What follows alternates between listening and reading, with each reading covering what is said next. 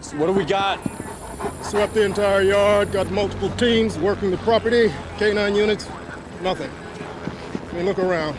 Got two city blocks of hiding places, and I don't even know what the hell I'm supposed to be looking for. I need more information. What's the specific tip? Who'd he come from? We got an informant who's dicking us around. Says we're gonna need rescue units here at 11. It's already 11:20. Give it another 20 minutes and wrap it up. I want bomb squads, medics. I want everybody out. Come again, what was that? I think uh, a passenger train coming in your direction. It's over speed.